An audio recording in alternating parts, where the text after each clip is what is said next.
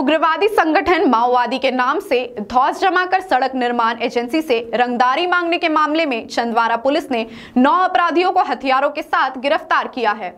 बता दें कि चंदवारा थाना क्षेत्र के बेंदी पंचायत के चोरी चट्टान से बोंगादह भीतिया तक कालीकरण सड़क निर्माण कराया जा रहा था बीते दिनों अपराधियों ने सड़क कार्य को रोक दिया था और निर्माण कार्य में जुटे लोगों के साथ मारपीट कर संवेदक से रंगदारी के तौर पर 30 लाख की फिरौती की रकम मांगी गई थी। मामले को लेकर संवेदक ने चंदवारा थाना में मामला दर्ज कराया था, जिसके बाद पुलिस हरकत में आई और घटना में शामिल लोगों को गिरफ़्तार करने में कामयाबी हासिल हुई। कोडरमा से रितेश लोहानी की रिपोर्ट।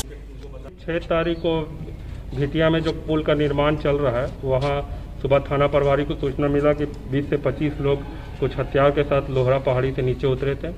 और वहाँ जो मजदूर काम कर रहे थे, उनके साथ लपड़ थप्पड़ किया गया और उनको बताया गया कि आप अपने ठेकेदार को बोलिए, हमसे बात करें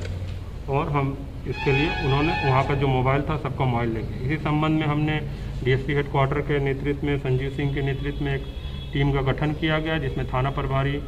और नए सब इंस्पेक्टर लोग भी शामिल थे। और तकनीकी शाखा के लोग थे। जिसमें लगातार हमने गुप्त सूचना इकट्ठा किया, तकनीकी सूचना इकट्ठा की और जिसके बदौलत हमने एक छावामारी करके उस घटना में जो संबंधित नौ लोग थे, सभी को गिरफ़्तार किया है, जिसके पास से तीन भरटवा बंदूक,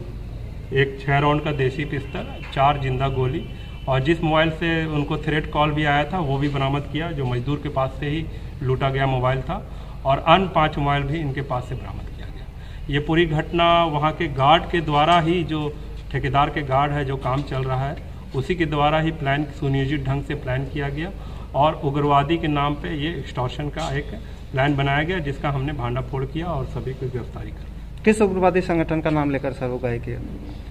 ये संदीप यादव के नाम पे एक जो उग्रवाद है माओवादी है उनके नाम पे ही पैसा मांग कर रहे थे। हालाँकि उससे कोई संबंध इनका नहीं किसी संगठन का भी ये लो नाम माओवादी।